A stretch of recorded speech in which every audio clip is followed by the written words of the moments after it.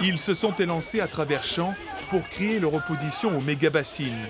Un long cortège, plus de 5000 manifestants, jamais la lutte contre ces réserves d'eau géantes n'avait autant rassemblé.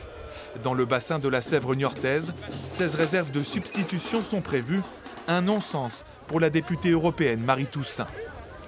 Il y a quelque chose de, confus euh, dans euh, l'argument de ceux qui défendent ces méga-bassines, puisqu'ils disent que comme euh, on perd de l'eau, alors il faut retenir cette eau dans des méga-bassines, là où retenir cette eau dans des, dans des méga-bassines, c'est appauvrir les nappes phréatiques et avoir de l'eau qui s'évapore.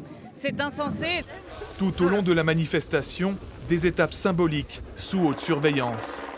Ici, le cortège se scinde en deux pour délimiter le périmètre de la future bassine d'Epan. Plus loin, des manifestants tentent de déterrer des tuyaux d'irrigation.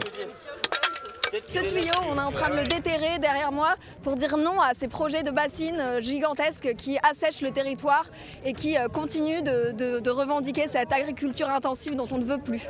Pour dissuader leur action, les gendarmes interviennent. Au jet de pierre des manifestants, ils répondent avec des gaz lacrymogènes. Un face-à-face auquel a assisté Loïc Prudhomme, pour le député La France Insoumise, le modèle agricole actuel est à repenser. Nous, on est euh, pour accompagner tous ces agriculteurs qu'on a collés, j'allais dire, dans cette impasse par des décisions euh, politiques et publiques depuis euh, des décennies, les sortir de cette impasse avec un soutien massif vers l'agroécologie, vers la replantation de haies, vers l'infiltration de l'eau pour préserver la ressource. En fin de parcours, le cortège a rejoint les agriculteurs venus en tracteur jusqu'à la limite de la zone de circulation autorisée par la préfecture.